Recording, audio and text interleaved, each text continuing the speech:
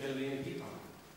Planen med energiparken, det er at give vores studerende en forståelse for de her energikrav, vi har i forhold til at skal være uden fossil øh.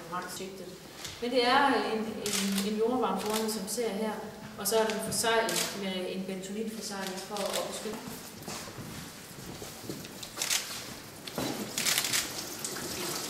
Ej, hvor er det godt. At her foran ligger der en container, og det er den, du kan se ud på derude.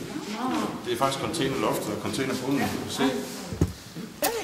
Men prøv at hælde den ud over, nu det er jo utrolig meget vand i forhold til, hvad man normalt vil regne. Sådan kommer regnskyllet ikke? Ja, men så kommer kommer Men jeg må godt sådan... Øh, bare ud over, ja. Åh, oh, mod fotograf. Kan du se, det er væk. Og, men de samarbejder også i det industrinetværk, vi har sammen.